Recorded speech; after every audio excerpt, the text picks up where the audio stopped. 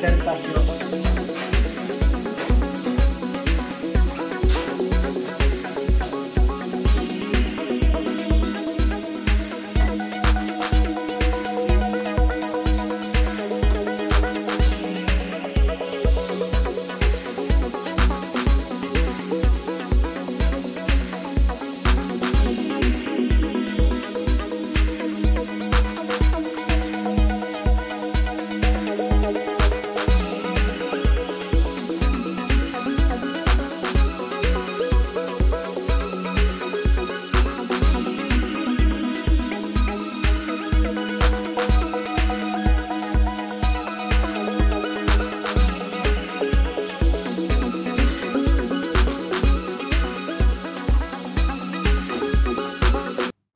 kabayan, magandang kumbawa sa inyo.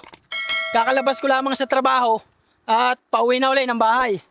So, bali mga kabayan, ay gagawin ko ng video yung ipinagawa kong pigre, yung pa yung inahin ng baboy.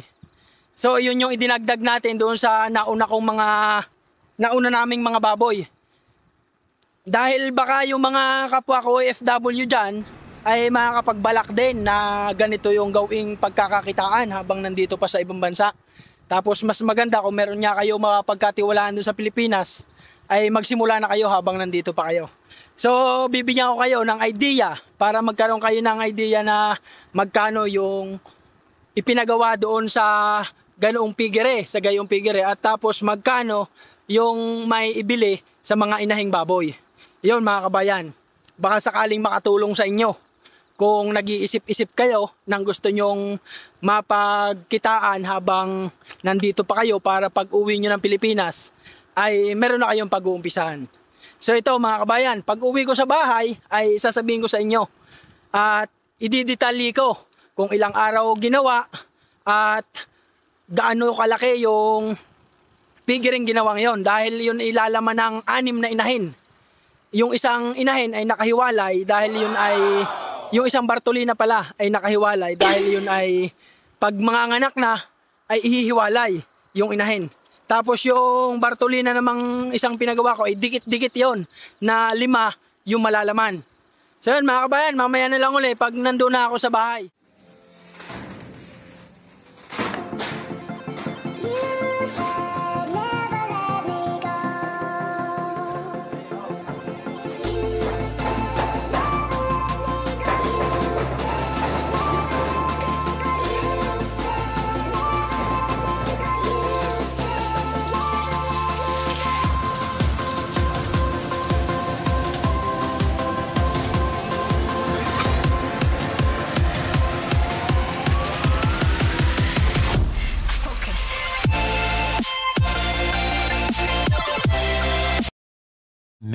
Hours later.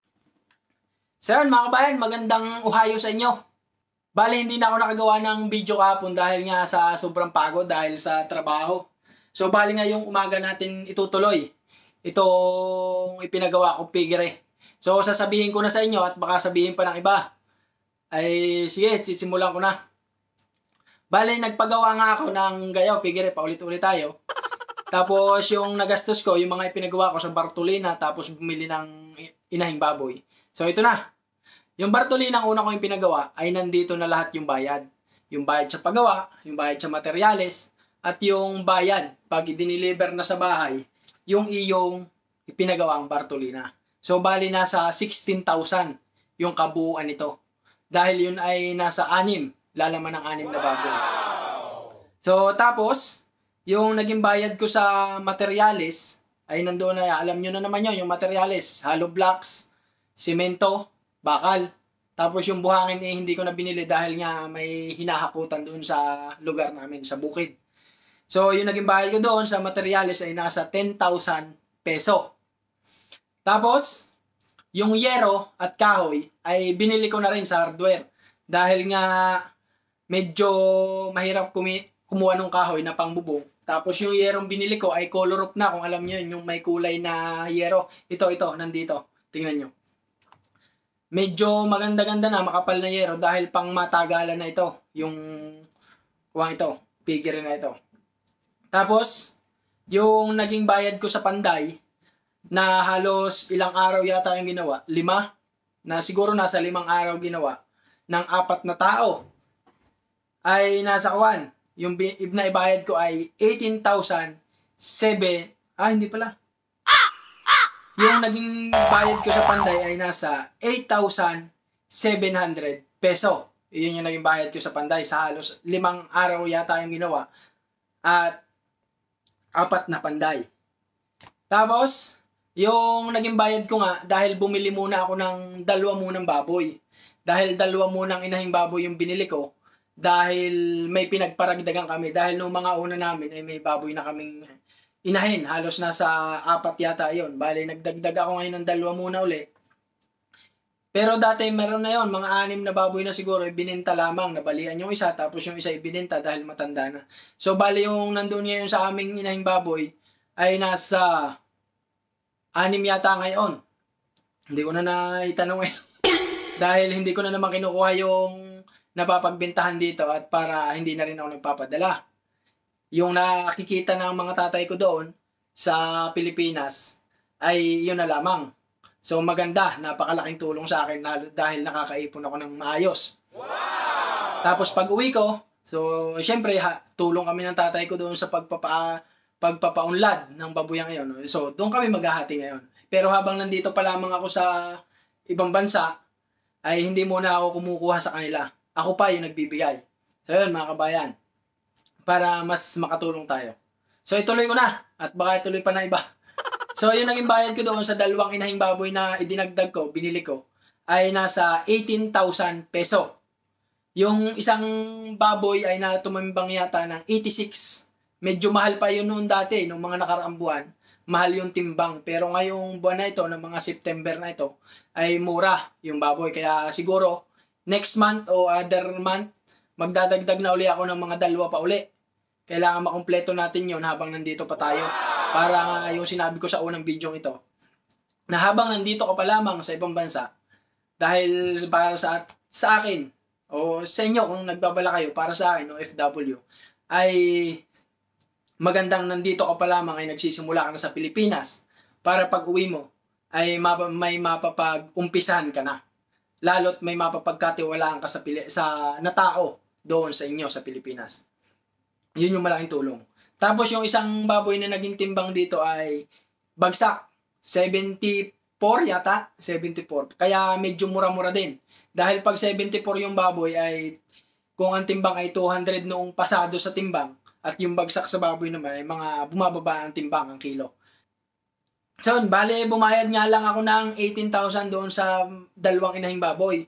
Tapos yung kabuuan nito na nagastos ko doon sa figure at dalawang inahing baboy ay nasa 62,700 peso. Iyon yung nagastos ko. Tapos, siguro nga kung bibili pa ako ng mga tatlo pang inahin, gagawin kong lima ng inahin, ay magkukuhan tayo ng nasa mga 120 plus, gayon yung magiging puhunan. So yun, mga kabayan, iyon yung magiging puhunan siguro, nasa mga 120 plus 130. Yung paggawa mo ng figure eh, tapos bili ka ng limang inahing baboy. So pag mura ngayon, dahil nga mura ngayong buwang ito, ay nasa mga 130 siguro yung kabuuan, makukumpleto mo na yon. Pero kung noong mga nakaraang buwan, na pagkabili ko ng dalawang ito, is, ang nakabudget ko doon ay 150,000. Pinag-ipunan natin yon para nga hindi masayang yung ating sinasahod dito at may makita tayo pag uwi natin sa Pilipinas. Dahil nga lagi kong inuulit sa inyo na hindi naman tayo pang habang buhay dito sa ibang bansa. Hindi tayo tatanda dito sa ibang bansa. Para sa akin yun, yung para sa akin. Hindi ko alam sa inyo. So yun, mga kabayan, baka sakaling napapaibig din kayo na magganito, magbabuyan, at maganda ito, maganda, magandang pagkakitaan. Hindi ka, kung sa mga pag-iinahing baboy ay hindi ka masyadong malulugi kung bumaba man ng timbang. Siguro, ang ikalulugi mo doon ay kung ano, kung mamatay yung inahin. Dahil wag naman sana. Dahil yung mga baboy ay para ding tao. Dahil yan may buhay. Kailangan mo ring alagaan ng maayos para mas kumita ka. yun nga mga kabayan, kung kayo nagbabalak ay yan yung nagastos ko sa piggery at saka sa dalawang inahing baboy. Nasa 62,700 peso. So, yun na. Dito na natatapos yung aking video ngayon at gusto ko lamang i-share sa inyo at baka yung mga kapwa ko OFW dyan ay nagbabalak din ng ganitong pagkakakitaan. Nag-iisip kayo, hindi kayo makapag-isip ng kung ano yung inyong sisimulan habang nandito pa kayo sa ibang bansa. Ay ito, babuyan, maganda rin pagkakitaan. Tapos sa mga susunod kong video, siguro gagawin ko rin ng video yung update doon sa mga kambingan. Dahil yung kambingan nga ay nagsimula lamang sa dalawa dati doon sa una kong video, ay ngayon ay nasa labing walo na yung kambing namin. So nagawa rin ng pa ng kulungan sa kambing na yan. So yun, hahaba pa ng hahaba yung video ko. Ito lang naman yung sasabihin ko kung magkano ang nagastos doon sa pagkapagpagawa ng figure. So maraming maraming salamat sa lagi niyong panonood ng video ko dito sa Japan. So lagi-lagi niyo lang suportahan yung mga ginagawa ko ditong video sa Japan at maraming maraming salamat. Malaking tulong yun sa akin. So sa mga masusugid ko diyang tagapanood ay maraming maraming salamat sa inyo. Hindi muna ako nagsa-shoutout at wala may sa-shoutout. Yun. Bye-bye. So, dito nga pala sa mga bago makakabisita dito sa aking YouTube channel, ay ako'y humihingi sa inyo ng pakisuportahan nyo naman ako. Paki pindot nyo yung subscribe dyan at pakikalimbang yung kampana dyan sa tabi para lagi kayong updated sa mga video na gagawin ko dito sa Japan. So yun, maraming maraming salamat. Bye-bye!